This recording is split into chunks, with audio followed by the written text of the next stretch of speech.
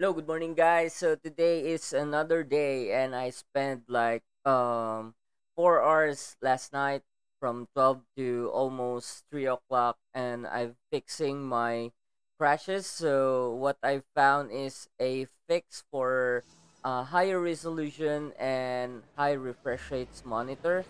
So whenever I activate FreeSync, even on twenty point two point two, my PC crashed.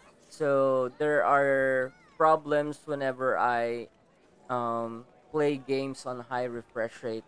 Although not every game, but most uh, most of the time, Final Fantasy 14.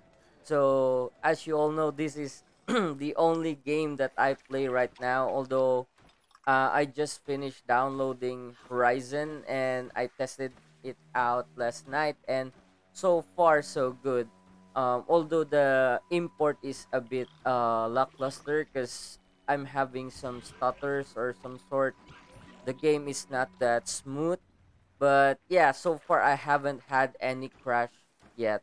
So what I did was uh, I installed a patch that was uh, provided in the forums and it was just a third party software that I had to install and it will patch your um, ATI drivers and I mean AMD ATI drivers and it will patch your ATI KMDAG.sys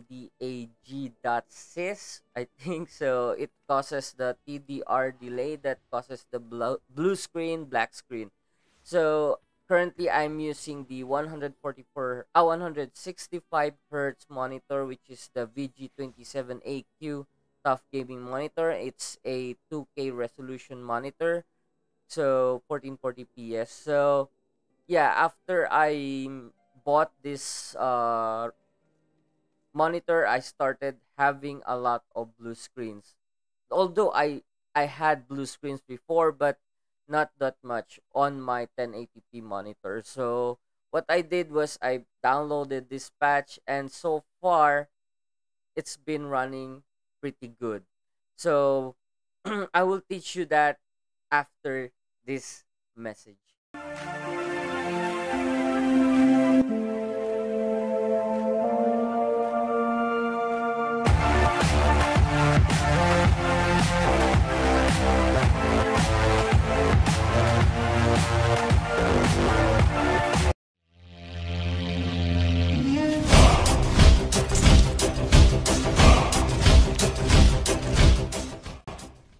Guys, we're back. So, what we have to do first is to download uh, the DDU, which is the display driver uninstaller.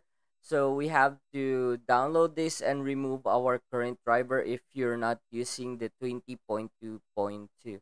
So, we just have to uh, double click this. So, it will prompt you that you have to do it on safe mode so I already uninstalled my driver, so I'm going to show you how to do it. So you just have to select the GPU on this uh, drop down menu. So once you selected the GPU, select your current driver, which is AMD, and click on clean and restart.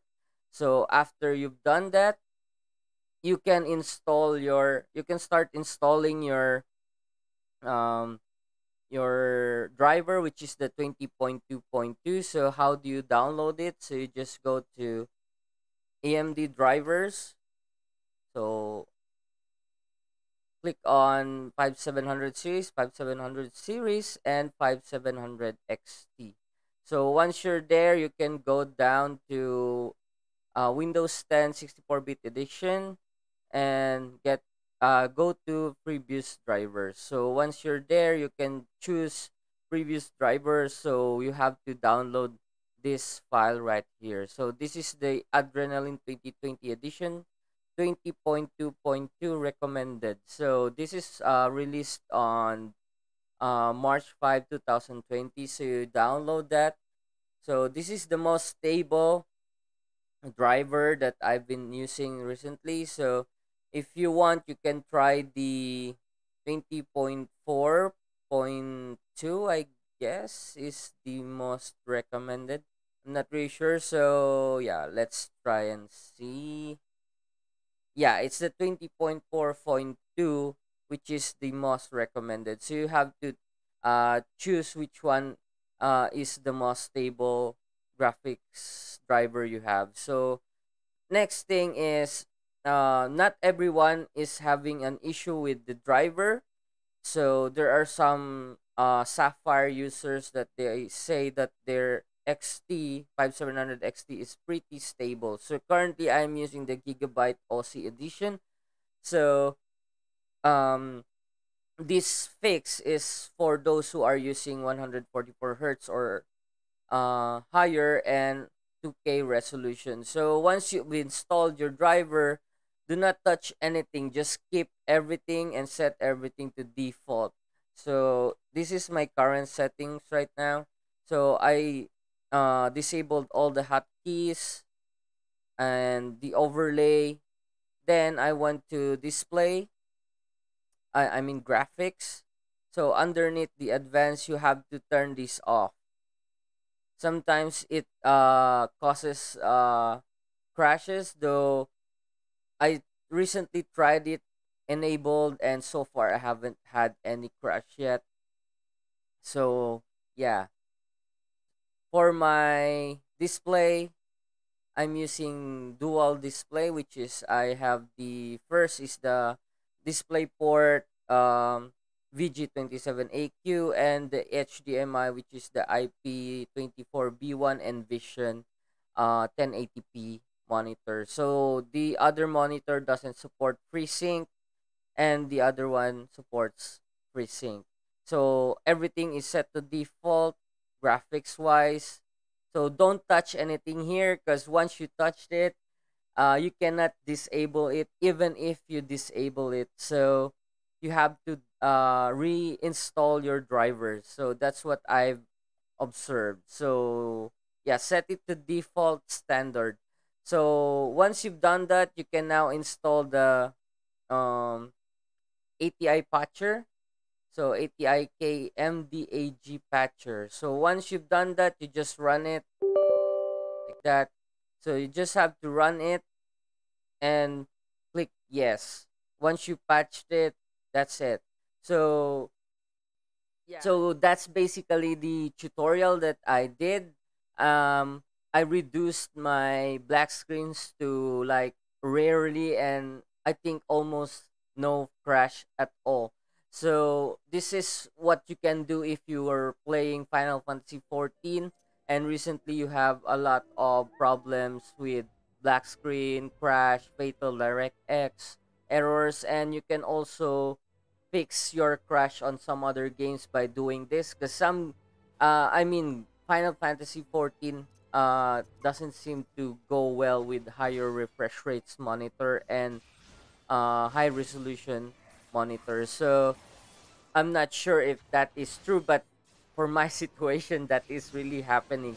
So I am able to stream and run my Final Fantasy Fantasy Final Fantasy 14 without any problems. So, yeah, I am currently using Streamlabs right now, which on my previous videos I said I cannot stream, I cannot record and play my games while using Streamlabs. So, currently I am now using Streamlabs. So, yeah, that's very very good. I might be able to stream again one of these days if I'm not busy. So yeah, hopefully this will fix your um crash issues, black screen, green screen, and no signal uh, issues on AMD drivers. So hopefully, guys, uh, this video really helped you. And yeah, thank you for those people who posted it on the forums about this ATI patcher.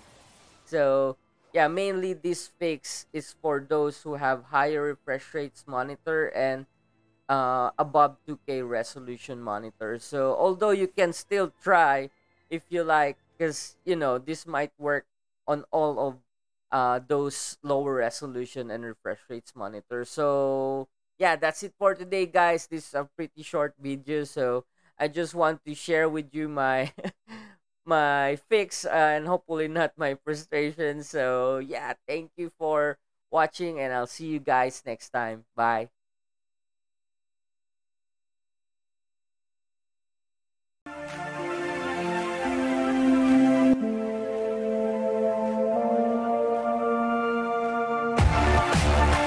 Bye.